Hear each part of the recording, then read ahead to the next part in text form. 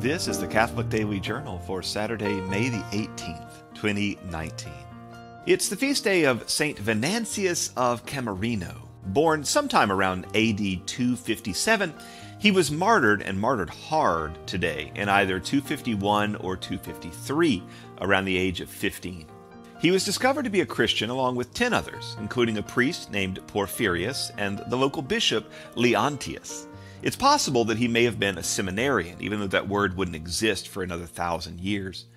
No one's entirely sure if the teenager did something particular to goad the soldiers, but they went after Venantius with gusto. It's almost farcical. The soldiers scourged him with whips, then burned him with torches, then hung him over a fire. Then they beat on him to get him good and bloody before throwing him to the lions in the arena. And after they were done with all that, may he may have still been alive, maybe not, but they threw his body over a cliff. His body was recovered and buried outside the city. A hundred years later, a basilica was built there, and a few miraculous springs of water started to gurgle up.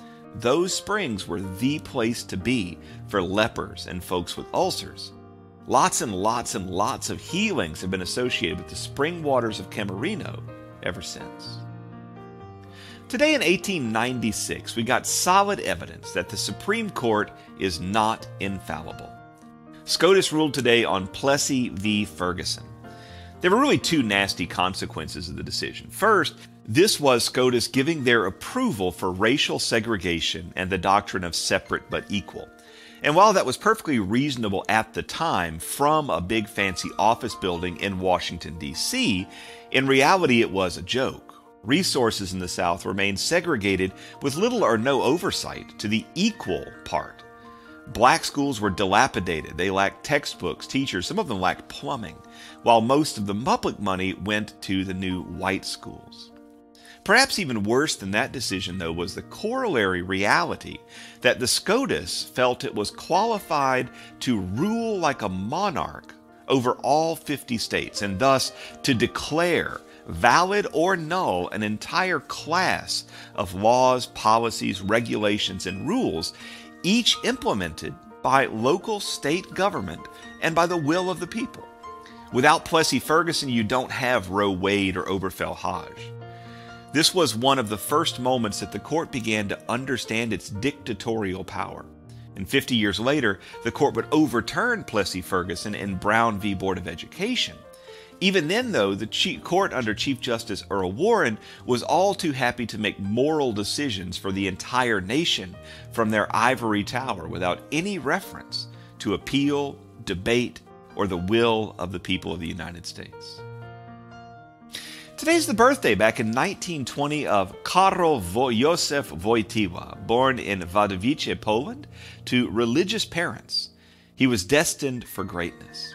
He went to a clandestine seminary under Nazi rule and was bishop of his hometown of Krakow under communist rule. He was one of the most important Catholic philosophers of the last 300 years and was a major player at the Second Vatican Council. When the compromise candidate for Pope died after a whopping 30 days in office, the Polish juggernaut became the first non Italian Pope in 500 years. He took the name John Paul II in a symbolic nod to John 23rd, who called Vatican II, and Paul VI, who implemented it, and to John Paul I, who expected to spend his papacy continuing the effort. Despite his name, John Paul II spent little time merely continuing someone else's efforts.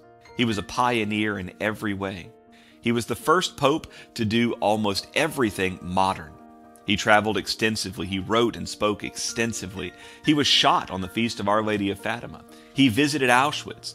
He dialogued with the East and with the Jews.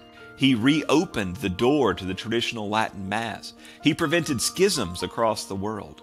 He had a hand in bringing down the USSR. And he died in the public eye to show us about the mercy of God. Pope St. John Paul II, pray for us.